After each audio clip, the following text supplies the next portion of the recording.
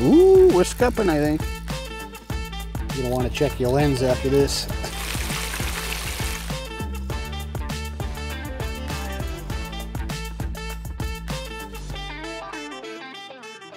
So scup can pretty much be found anywhere from south of Cape Cod all the way down to the mid Atlantic. Um, they tend to prefer a sandy bottom. Right now we're fishing in an estuary actually. Most times you find them out in the open beach, but I've been hitting them here when I've been fishing for fluke. Um, and a very prolific fish. I think you can keep 30 a day, which I would never even come close to keeping that many because they're kind of a pain to fillet. Um, but a nice, good eating fish when you get them fresh. They're perfect for cooking whole because they're small, which is how we're gonna prepare these today.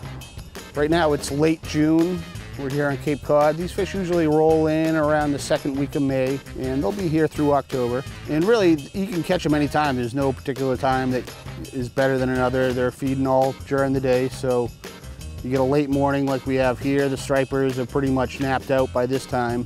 Um, but the scupper are always feeding, so it's a good daytime way to get some fresh fillets. Nope, there's one. Come on, eat it, eat it. Don't listen to your buddy in the bucket.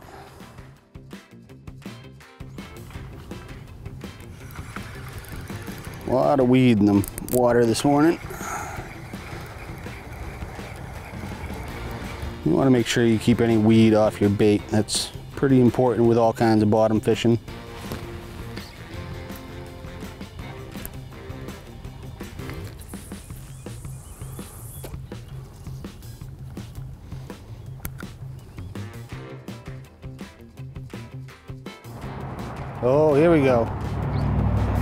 That's a scupper. Tap, tap, tap, tap, tap. Eat it. Oh, I, get him. Oh, I got him. Ooh. This is a feisty one. Really make a lot of head shakes, you know, right away when you get a scup. So tapping all over the place. Oh, pulling a little drag on me, are you? I'll teach you. That looks like a keeper. They actually do have some really pretty colors to them. You get that kind of electric blue, that deep purple on them. Cool looking little fish.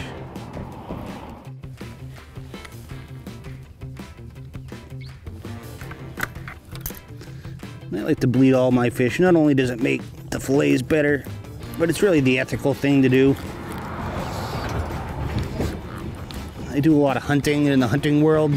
Everybody's real keen on making the kill as quick as possible, but you don't see that in the fishing world. A lot of people will just throw them in the cooler, let them die slow. And when that happens, they actually release a lot of lactic acid, which can make their meat deteriorate quicker. So the quicker the kill, the better your meal.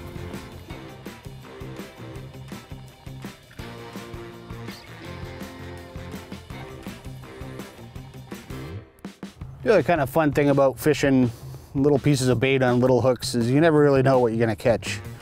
Um, it's pretty early in the season now, it's late June, but come later in the summer, late August, September, you get a lot of weird things moving here. You get puffer fish, um, you get little jacks that you catch occasionally, you get sea robins, you get fluke out of here. So it's always entertaining when you catch something different.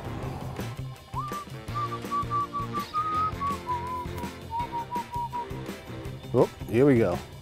Eat it, eat it, eat it. Oh, I got him.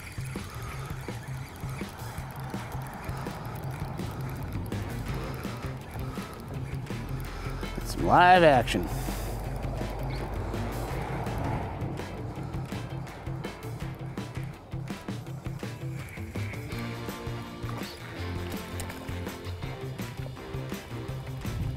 Number three.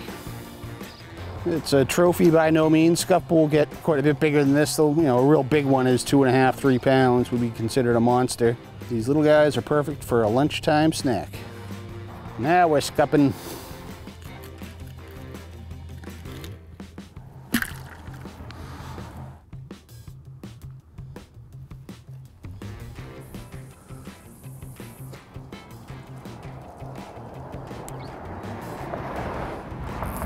Ooh. Oh, hit like a freight train. Oh, he's digging in. All right, there's number four. We are ready for lunchtime.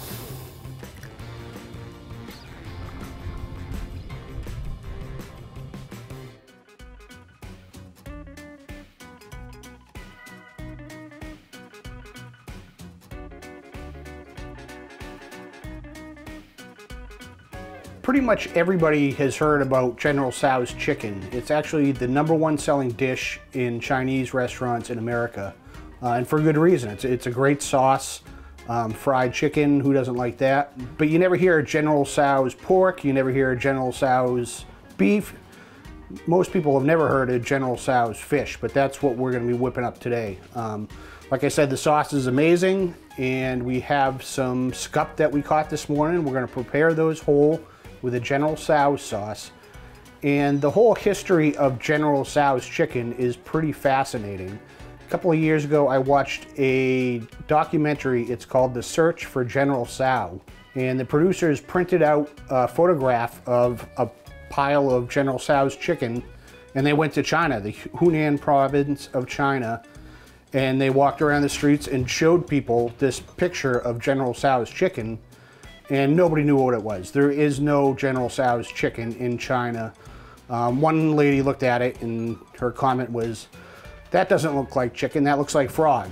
And so they then went into the history of General Tso, and there was indeed a General Tso, and he was a pretty mighty warrior.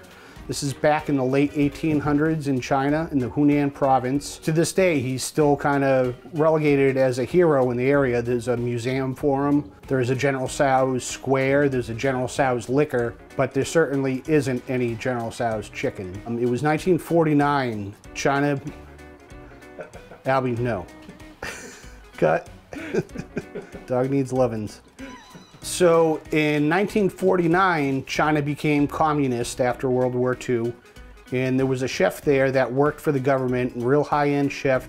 His name was Peng Chang Kao. And he fled the country. He went to Taiwan to get away from the Communist Party, and he started a restaurant there, and it became a smashing success. It was actually internationally known. He came from the city of Hunan, where the actual General Tso came from, and he decided to name one of his chicken dishes at his restaurant General Tso's Chicken in honor of the legendary warrior.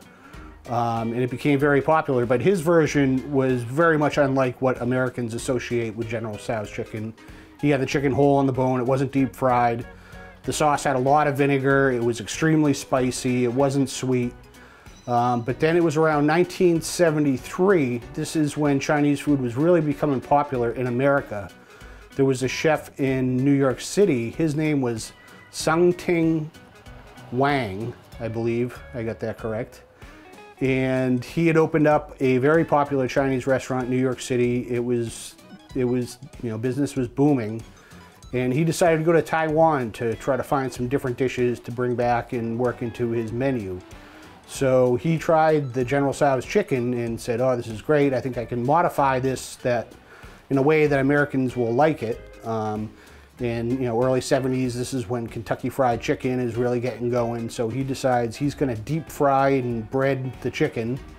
Um, and he decides, you know, Americans like sweet food, so he's added a lot of sugar to the recipe.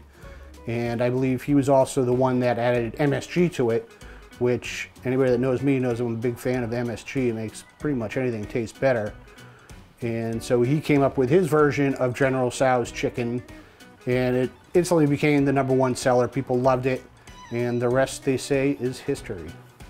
So the first couple times I made General Tso's fish, I made it very much like General Tso's chicken where I took nuggets of fish, I breaded them, I deep fried them, made the sauce, put it over with the broccoli and all that. Um, but I've also done it a few times since with whole fish and today we're working with scup they can be pretty bony. They're not the easiest fish to fillet. Uh, the fillets you do get are pretty small, so anytime I'm cooking scup, I like to keep them whole. So that's how we're gonna be preparing these fish today. So the first step is we need to remove the fins. So these things are like little cactuses. These spines on the dorsal fin are like super sharp needles. So we're gonna take a pair of shears and we're gonna trim those off. And one of the main reasons I do that is because when I scale them, if one of those spines gets me in the finger, it hurts like the dickens. Also gonna remove the pectoral fin. And I am not a marine biologist, I don't know what this fin is called, but that also has some pretty fierce spines in it.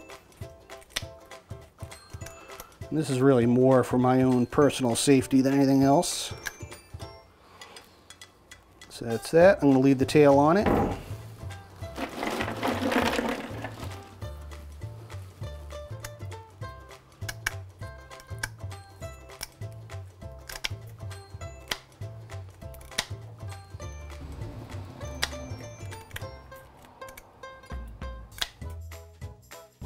So anytime I'm scaling fish, I do it outside. If I did this in the kitchen, my wife would get pissed at me because the scales end up flying all over the place. They sell a specialized tool for doing this, but I've always found just a butter knife will get the job done. And basically you just want to scrape them from the tail towards the head.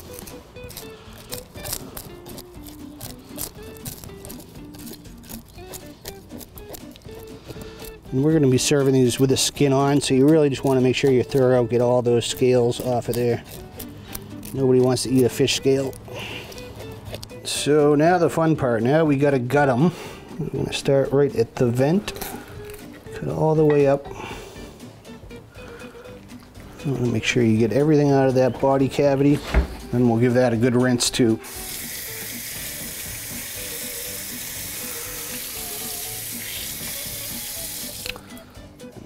That is ready to fry. So now we want to dry these off really well with paper towels.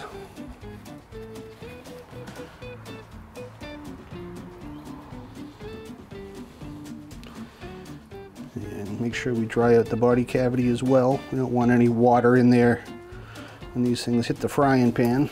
Now if it was just meat in these, I'd leave the head on. There's actually some good little bits of meat in there, but I think a couple of our diners today are, let's say, a little bit squeamish. And they might not want their food looking back at them, so I am going to cut the heads off.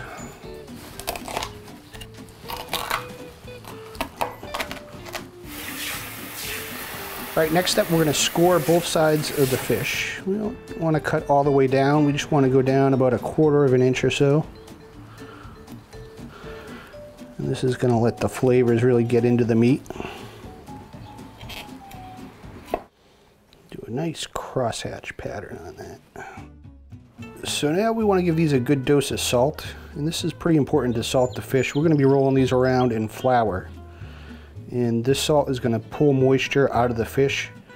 And when that moisture mixes with the flour, it's going to turn into a glue. And that's going to make our outer layer of flour stick to the fish much better.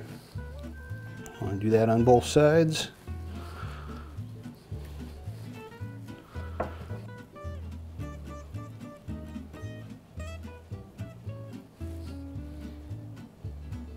So we have some all-purpose flour. Can add a little bit of cornmeal to that, not a lot.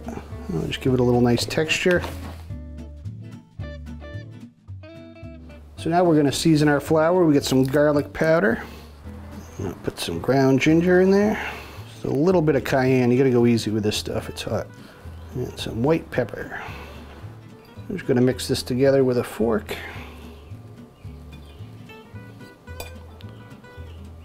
Now we're to dredge each side of our scup into the flour.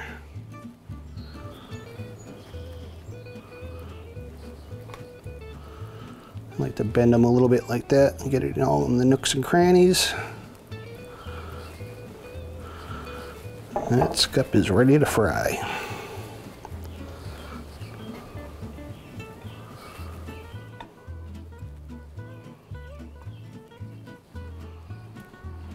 I like to take a little extra flour, dump that over the top. Now this is another important step. We're gonna pop these in the refrigerator. We want these to chill for at least, say half an hour.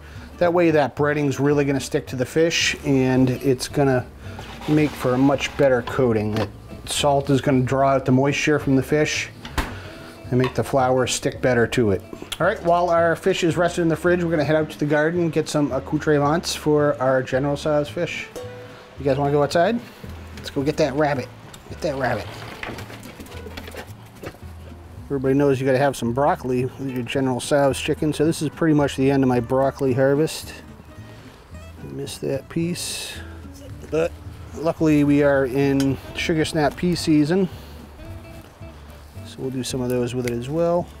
Some nice purple peas. And it's weird, everywhere, every year I plant sugar snap peas, but like most of them come out skinny, like a Chinese pea pod, which is fine. They taste just as good. So many peas. That's a pretty good haul. I think that'll be plenty. Back to the kitchen. Now we're gonna get started with our General Tso's sauce. Now, I'm not gonna lie to you, there's a ton of sugar in this recipe. It looks like an obscene amount. I've tried making it with less and it's not nearly as good. So we're gonna start out with one cup, yes you heard that right, one cup of white sugar. To that we are gonna add a quarter cup of water. Turn on the heat. And we're gonna simmer this for about 15 minutes until you can really start to smell like a caramel smell and it'll just start to darken up slightly. So essentially what we're making here is a caramel. And you gotta keep an eye in on this and keep it moving as it's cooking. It is prone to burning to the pan. The other thing this recipe has is a lot of ginger. We're looking for about a quarter cup of ground ginger. You're going to want to slice this nice and thin.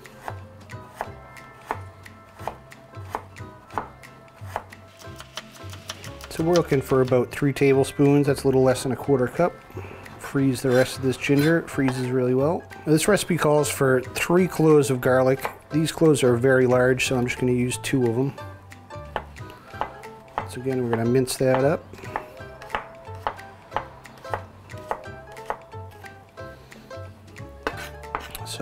Lot of garlic, a lot of ginger is the key to making a good General Tso sauce. Add our garlic right in with our ginger.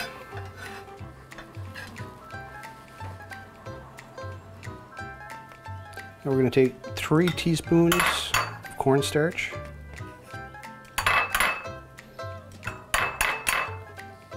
We're going to add a quarter cup of warm water to the cornstarch. Give that a stir until the cornstarch is dissolved. Next up, a quarter cup of soy sauce.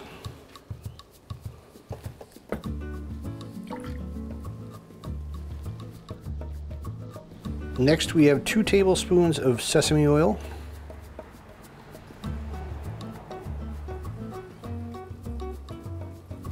Last but not least, we have one to two tablespoons of chili crunch.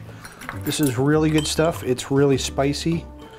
I'm not sure how much the people that are gonna be eating this like spicy stuff, so I'm gonna go about one and a half tablespoons on that. That also gives it that nice bright red color. Now with sugar, we really wanna keep this moving you can see it is bubbling up nicely. It's getting thicker. The color is just starting to change. I'll let this go for about four or five more minutes. And whatever you do, and I did this the first time I ever made it, do not lick the spatula. This stuff is like molten lava. You're gonna want a quarter cup rice wine vinegar. And I like to add a little bit of this stuff too. This is my secret weapon. This is MSG. A lot of people are afraid of it. Studies have found that it has absolutely no side effects. And a little bit of this stuff goes a long ways. I'm gonna do maybe a quarter teaspoon in there. You can find it in pretty much every supermarket. If you look where the salt is, you'll see a bottle of stuff called Accent. And Accent is kind of a code name for MSG. But highly recommend it. I put this stuff in chowder, I put it in soups, um, salad dressings. It's pretty much used in a lot of commercial foods that people don't realize it is. And like I said, there's been plenty of studies done that show there's absolutely no bad effects caused by MSG. It's perfectly safe to eat. All right, so you can see our sugar is starting to crystallize on the side of the pan. It's changing color. It's getting that kind of amber color to it. Um, it has a real strong smell of caramel. This is ready to go. We're gonna add our other sauce ingredients and it's gonna go crazy. And you wanna stir it quick because that sugar is gonna wanna lump up.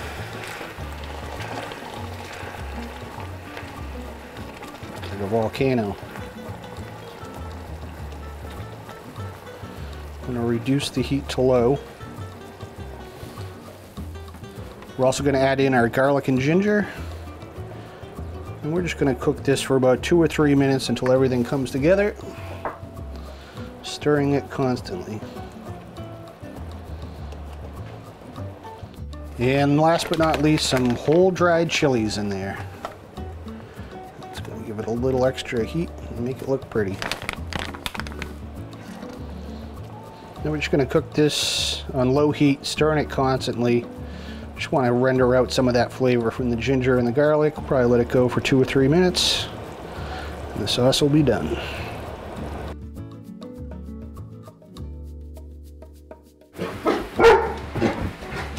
Relax. Hey, we got an eater. got a scup eater. Tommy! No biting. All right, we're gonna eat something green, so we're gonna steam up our veggies. Gonna steam our broccoli for about three to four minutes, and those peas are only gonna take a minute or two to cook. All right, so we're almost ready to fry up some scup. I'm using an electric frying pan. I think this is by far the best way to fry any kind of fish. Um, the nice thing about it is it has a thermostat on it, which holds the oil at a pre precise temperature. So we're cooking at this at 350 degrees. I'll put the fish in there, the oil temperature will drop down. This will automatically adjust it and bring that back up to 100 and 350 degrees.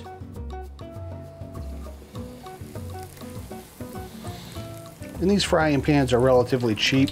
This model is made by Presto. I think these sell for about $50 let these go for about three minutes per side. These fish are pretty small. They're going to cook fairly quick.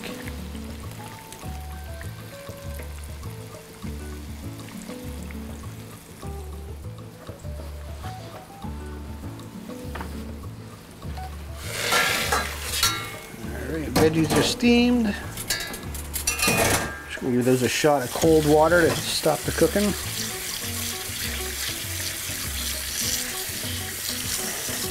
These guys have been rocking for about three minutes. We're gonna flip them over. Best way to do this is with two fish spatulas.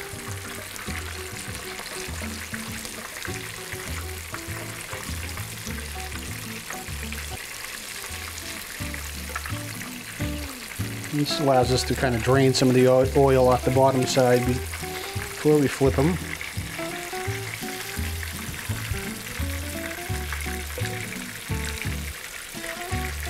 To be on the safe side, I'm going to check the temperature. I don't want to serve anybody raw fish. So this is up over 160 degrees. That's definitely cooked. And anytime I'm frying fish, I always put it on a metal wire drying rack.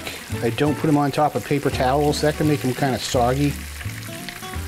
And that allows any excess oil to drip out of them. All right, our scup are fried up nice and crispy. Now we are going to artistically arrange them on a platter. Don't forget about the broccoli. Now for the best part, heaping spoonfuls of General Tso sauce.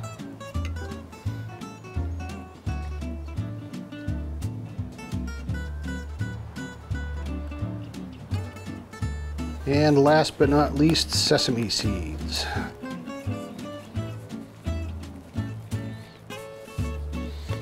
There you have it, General Tso's Scup. All right, boys, don't be shy. Dig right in. Everybody gets a scup. You get a scup. You get a scup. I get a scup.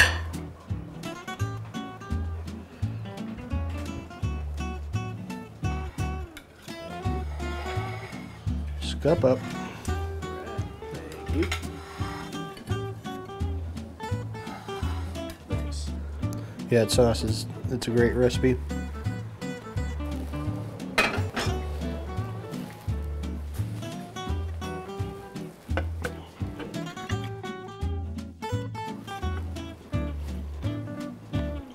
Cheers, guys. Cheers. Thank you, Andy. Thanks for eating my scup. Give me an excuse to go fishing.